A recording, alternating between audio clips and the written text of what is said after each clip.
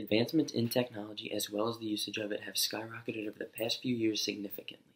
Technology is growing rapidly and has created dramatic changes in all areas of human communication. People are beginning to become absorbed by the many positive and negative effects that come along with it. Today, I would like to inform and share with you that technology can be seen as the primary communication method. Excessive use of technology can lead to a state of social isolation, and the younger generation is being affected the most. Let's start by looking at how technology is the primary communication method.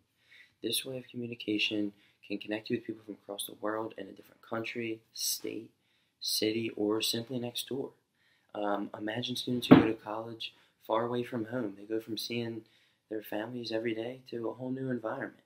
Luckily, with technology, you can talk to any family member, any friend, anyone, anywhere. Um, you can easily send a text, you can call them on the phone, or you could FaceTime or Skype. Technology allows communication for not only people but businesses. A corporate business must be able to communicate globally and nationally. This ensures business operations stay on track, people know what's supposed to be done, and bosses and other people with authority can give commands without being physically in person. Besides technology being used to communicate, people are also becoming dependent, dependent on it for its many other resources. Um, this is where it leads to a state of social isolation from excessive use. This is characterized by a lack of contact with other people in day to day living. People isolate themselves by walking around in their own little bubble. They listen to their iPods, they block out the world, they constantly refresh social media pages to see the latest updates on things that do not matter. Texting, a way to avoid face to face contact, um, it's just not right. An article in the Wall Street Journal by Dr. Rosen, who is a professor of psychology at California State University, states that the time and effort we put into our virtual worlds limit the time and ability to connect, especially to communicate on a deeper level in our real world. With smartphone in hand, we constantly face a barrage of alerts, notifications, vibrations, and beeps that warn us that something seemingly important has happened and we must pay attention. From cell phones to iPads, iPods, laptops, and many other on the go devices, people are constantly engaged. Dinner time used to be about coming together and talking about how everybody's day went. Now, it's at the point where family dinners consist of everyone on their phone being concerned with what's happening as they're scrolling. Um, people are less concerned about each other and what's what's going on around them.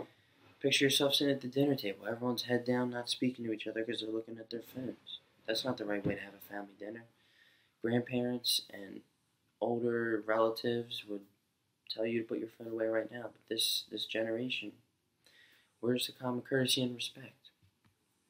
Technology proves to lead you to a state of social isolation if it's used too much. This is terrifying to think what will happen to the younger generation. At a young age, instead of playing outside, reading a book, building forts, children are hooked and introduced to technology. Children are mesmerized by a screen of entertainment. It could be one of many things, such as social media, video games, texting, television, any other form of technology. Although it seems to be all fun and games, this mesmerization is leading to a lack of child development and skills. Author Rowan, a pediatric occupational therapist, biologist, and speaker, is the author from uh, the Huffington Post. She writes Diagnosis of ADHD, autism, coordination disorder, developmental delays, unintelligible speech, learning difficulties, anxiety, depression, and sleep disorders are associated with technology overuse. That is crazy. Um, at an increasing and alarming rate. Limitations should be put in place for children when it comes to the use of technology. This is crucial for learning and development in life to be to refrain from technology. Um, they need to develop and into people without being overtaken without being taken over by technology. They should be creating friendships face to face with kids their own age. Author Kraut states that the importance of interacting with others to gain social competence concerns have been raised that children who from electronic relationships with computers instead of friendships with their peers might be hindered in developing their interpersonal skills.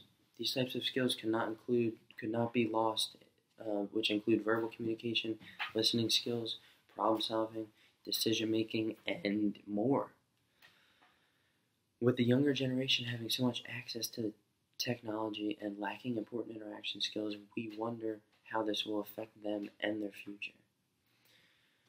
By now, you understand the power of technology. It can be seen as the primary communication method because it makes communication easy and fast. An excessive use of this technology can lead to a state of social isolation, which makes a person focus on their technology rather than the people around them. And the younger generation is being affected the most because they're growing up with all these electronics around them, taking away from the time they should be spending outside. It's clear that technology is no doubtingly growing, uh, growing viciously each day. A brand new device will come out, a new update, a new game, and everyone will want it. I cannot stress it enough the importance of being mindful of how the future can be affected if the time spent on technology continues to rise.